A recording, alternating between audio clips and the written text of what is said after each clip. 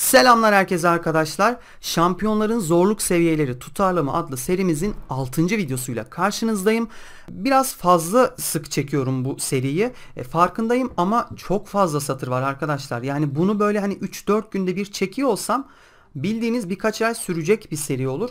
Böyle olsun istemiyorum. Bir an önce sonlandırıp bir oynatma listesi oluşturmak istiyorum bu seriyle alakalı. Dolayısıyla biraz oynanış videolarının da önüne geçti. Ama dediğim gibi bir an önce bitsin mantığındayım. O yüzden iki günde bir video yayınlamaya çalışıyorum. Bir an önce bitirme derdindeyim açıkçası. Ve 6. satırla devam edeceğiz. Ee, Graves, Hekarim, Heimendinger, Iloi, Irelia, Ivern ve Jenna olacak bu seride.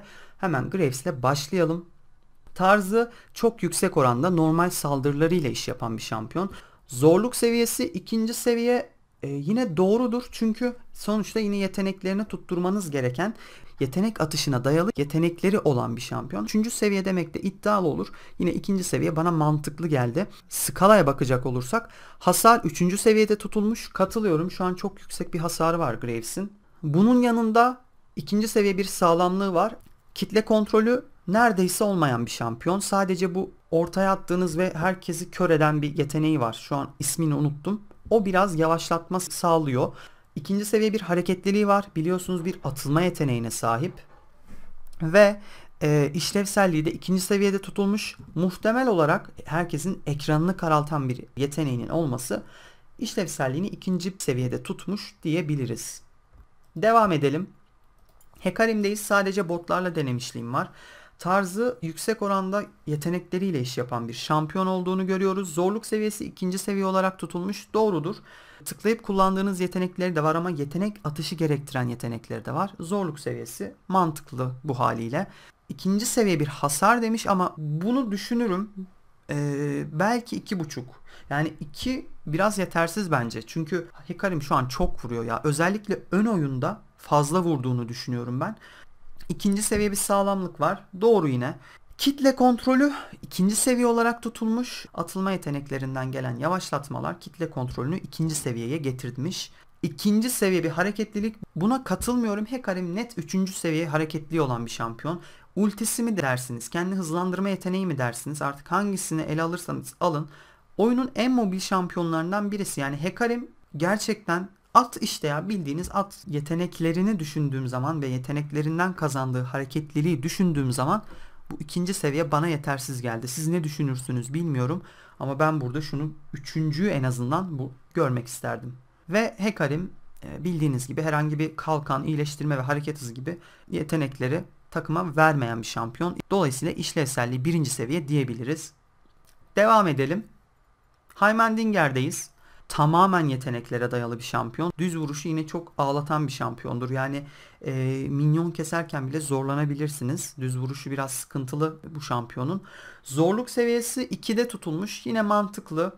Yani tabi komboları var ama bu komboları uygulamak için çok büyük oyunlar sergilemenize gerek yok. Çok mu rahat oynanışı bence değil. Hasar 3. seviyelenmiş kesinlikle katılıyorum. Heimendinger şu an hasar anlamında güçlü bir şampiyon. Sağlamlığı 1. seviyedenmiş. Şimdi burada şöyle bir şey var. Tabii ki bireysel sağlamlığı birinci seviye ama Heimendinger'e özellikle iyi oynayan bir Heimendinger'e ulaşmakta zor. Yani sağlamlığını bazen tespit edemiyoruz. Özellikle o o küçük savaş makinelerini ve e, sersemliğini düzgün kullanan Heimendinger'e ulaşmak da kolay değil aslında bir yerde. E, ama yakalandığı zaman da yani doğru kolay eriyen bir şampiyon diyebiliriz. İkinci seviye bir kitle kontrolü var. Direkt sersemletme yetenekleri var bildiğiniz gibi. E, bu da doğru olmuş bana kalırsa. Hantal bir şampiyon. Hareketli değil. Ve ikinci seviye bir işlevsellik denmiş. Bunda emin olamadım. Çünkü hangi yeteneği işlevsellik sağlıyor? Yani takıma kalkan, iyileştirme ve hareket hızı kazandıran bir yeteneği var mı?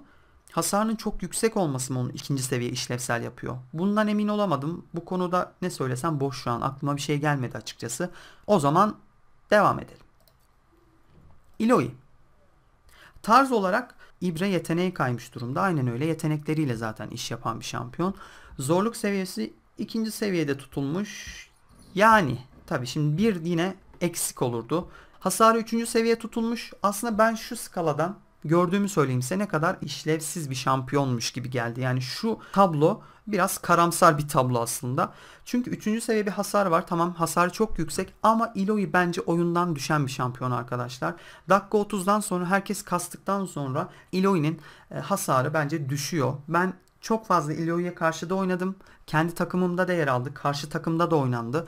Ve gördüğüm net bir şey var. Oyun başı terör estiriyor doğru. Ama herkes kasıldıktan sonra Iloi düşüyor bir şekilde. Ben en azından kendi oyunlarımda bunu direkt gözlemledim. Ama tabii bu skalada bu hasarın 3. seviye oluşu kesinlikle doğru.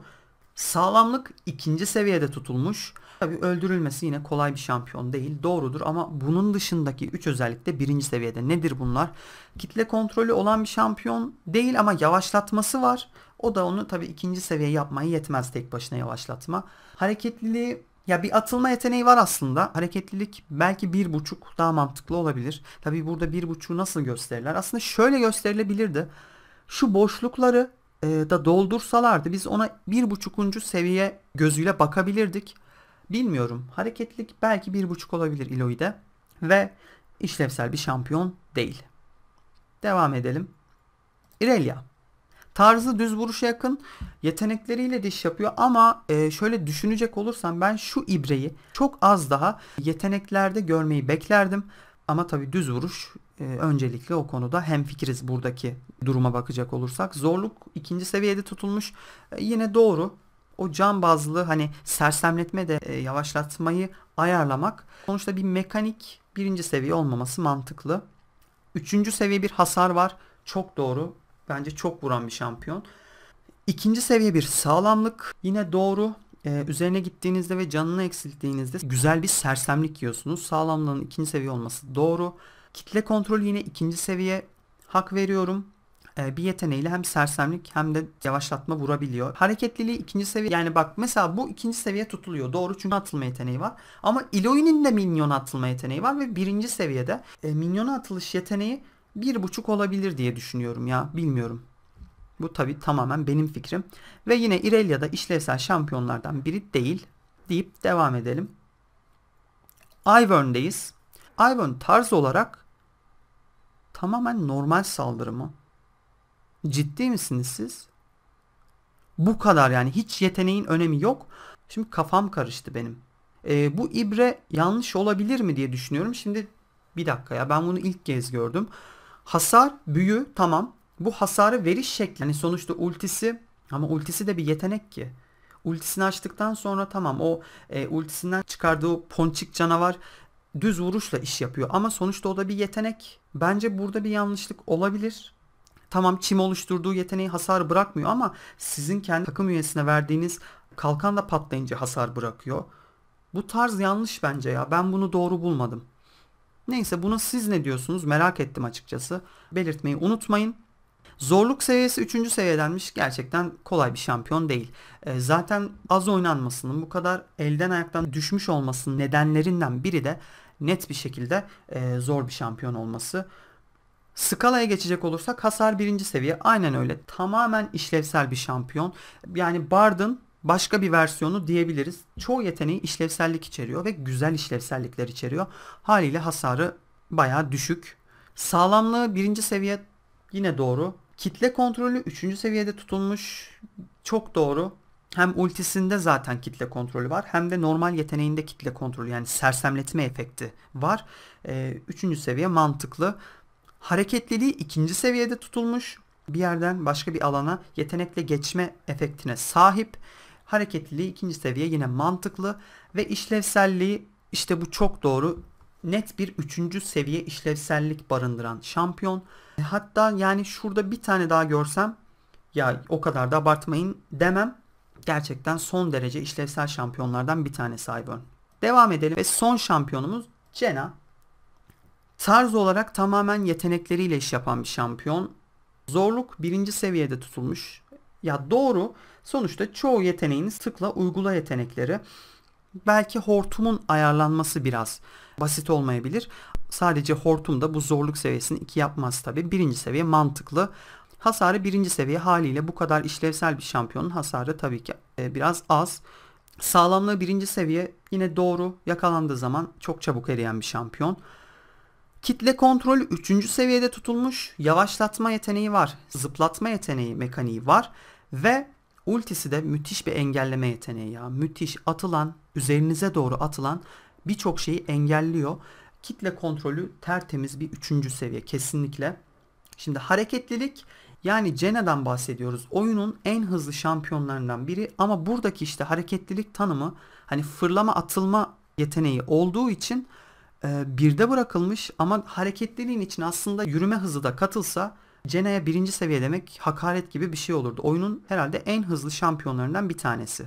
Ve son olarak işlevselliği 3. seviye. Yine aynı şekilde Cena'da da şurada dördüncüyü görsem, dördüncü seviyeyi görsem ya bu şampiyona da biraz abartı olmuş demem kesinlikle. E, son derece işlevsel desteklerden bir tanesi. Böylelikle bir yediliği daha geride bıraktık. Umarım videodan keyif almışsınızdır. Eğer videoyu beğendiyseniz beğenmeyi unutmayın. Hala abone değilseniz abone olmayı unutmayın. Kendinize çok iyi bakın. Bir sonraki videoda görüşmek üzere.